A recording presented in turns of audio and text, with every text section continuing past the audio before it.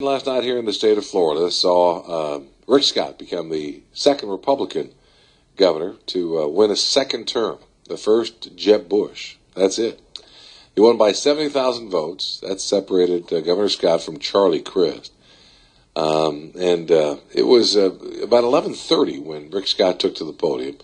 Uh, soon thereafter, Democrat Charlie Crist took the stage in St. Petersburg to address his supporters. Losing is not fun, but what, what is most important is that we come together as a state. This was a tough election, and I understand that. And I wish Governor Scott the best. And as you know, for me, it's never really been about right versus left. It's really been about right versus wrong. And I hope as Floridians, as we go forward, we can focus on that and work together. Well, it was a gracious uh, uh, speech last night to his supporters. Uh, uh so was Governor Scott's. But uh, boy, this was a bruising campaign. Now the question is, can they all come together? And what happens now that you got a, a Republican legislature, you got a Republican governor? Will we see changes in public pensions? Will we see a difference in school vouchers, for example? Where do we go here? More business development money, we were, here, we were told. Here to talk about uh, those types of things, Dr. Kevin Walsh, a political science professor at Broward College and an expert on campaigns. Good morning to you, Doctor. Thanks for joining us again. Hey, thanks, Jimmy. I appreciate you asking me to be on. Yeah, well, this was one ugly campaign. Uh, in your experience, do the parties put this aside, or is it much more difficult to do?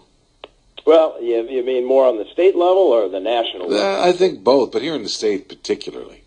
Yeah, again, I think on the national level, it's going to be more difficult. I think there's going to be more partisan rancor uh, between uh, Congress and President Obama. At the state level, uh, you know, you have unified government. You have a majority in uh, Republicans in Tallahassee, pretty much running the show. So, uh, you know, I think I think you're going to uh, you're going to see progress, but it may not be the kind of progress that uh, diehard liberals would like to see. Yeah. All right, let's talk about that national case. The president last night, during the, the election night, which I thought unusual, decided he would call uh, for uh, both uh, chambers and both parties to come to the White House on Friday.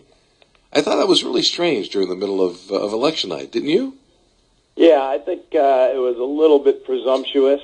Uh, and it it, uh, it was odd. Usually, that's the kind of ovation that you get later in the evening, if not the next day, right.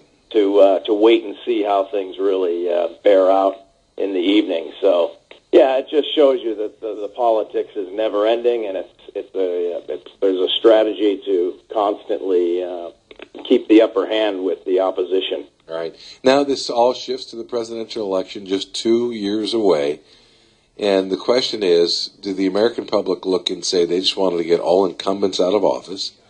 Did the Clintons get hurt last night by their continual you know, uh, foray across the country and trying to help Democratic candidates, yet get beaten badly, especially in their home state of Arkansas? And uh, did we see a Republican, maybe a John Kasich, jump onto the national stage? Yes, it's uh, you know a lot of that will uh, the tale will be told in the in the next two years, but it certainly was a, a bruising defeat for the, the Democratic Party. I'm not so much. I'm not so sure about Hillary. I think she can rebound. I think she's the presumptive favorite for the Democrats. Uh, she's got a ground game in all 50 states. She's uh, she's ready to go pretty much. Yeah. But uh, yeah, I think John Kasich may have emerged as a uh, viable candidate. You know, the the field for the Republicans looks kind of uh, somewhat predictable. I think Jeb Bush uh, actually is gearing up for a presidential run. It would be interesting to see a Bush versus Clinton grudge match. Yeah. Uh, maybe, as you suggested, maybe John Kasich might be a, uh, a better candidate. Obviously, both Florida and Ohio are are uh, key swing states. I mean, these are battleground states that the Republicans have to have help in Florida, Kasich obviously in Ohio, but they have to obviously uh, appeal to a much broader base.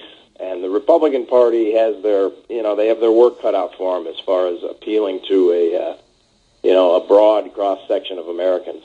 Right. Dr. Walsh, in our last 30 seconds, why did Democrats have such a hard time getting the vote out in South Florida here, allowing Rick Scott to win another four more years? You know, I think the bottom line is that the Democratic base was not energized and enthusiastic about Charlie Crist. They they see him as a politician, as a as someone who was a Republican. When he couldn't win as a Republican, he became a Democrat out of expediency. I just don't think there was real enthusiasm on the uh, on the part of the, the, the base of the Democratic Party. The, the, the get out the vote campaign just fell way short. Uh, I think Obama's unpopularity, even though it wasn't emphasized in the state election, I think it had a uh, I think it had an effect, and it, it may very well have uh, had an effect on the Democratic base because perhaps if Obama had shown up in South Florida, he may have been able to uh, bring some enthusiasm to those voters. I think a lot of minority voters, particularly African Americans, saw that Charlie Crist kind of shunned Obama, didn't want him around, treated him like he was toxic, radioactive, whatever. Mm-hmm. And I think that was uh, perhaps insulting. Yeah. So, Good point. It was tough. It was a tough. Uh, Charlie had a tough game to play. If you bring Obama in, he's he's going to be a lightning rod to energize the Republican base. If you don't bring Obama in, it's a slap in the face to the Democratic Party base. Yeah, you're right about that. Hey, Kim, uh, thank you so much for joining us. We do appreciate your time. Hopefully, we'll talk again. Okay, thanks, Jim. See you now. Dr. Kevin Walsh from uh, Broward College.